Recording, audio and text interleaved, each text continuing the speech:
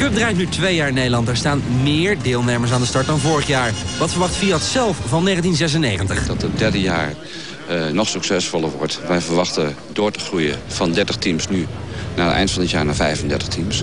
En, uh, daarnaast hebben we een Europese uh, tour waar één Nederlandse equipe in deelneemt. Dus van de, van de Smeden van de Berg. Dus wij, wij zien dat heel, al heel positief in en met groot vertrouwen eigenlijk. Vorig jaar stonden er zo'n 25 deelnemers aan de start van de Fiat Cinquecento Trofeo. Dit jaar zijn er weer meer bijgekomen.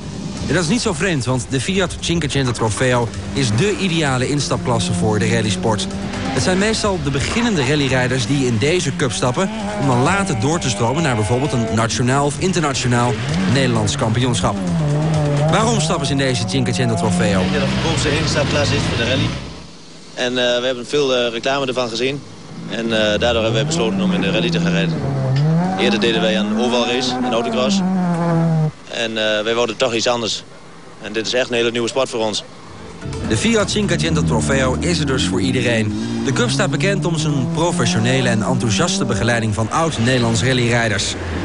Daarnaast is het financieel heel aantrekkelijk om in deze trofeo te stappen. Fiat heeft namelijk een speciaal pakket samengesteld... waardoor je goedkoop een rallyauto kunt aanschaffen... en goedkoop het seizoen verder kunt rijden. Low budget dus. Op de proeven wordt er veel strijd geleverd. Tussendoor is er een goede sfeer en helpen de teams elkaar in geval van technische problemen. En dat maakt deze Fiat Cinquecento Trofeo zo uniek. Nieuwe equipes zijn heel erg enthousiast. We rijden nu voor het eerst, maar wat we nu meegemaakt hebben is uh, geweldig. Het is inderdaad een geweldige cup, deze Fiat Cinquecento Trofeo.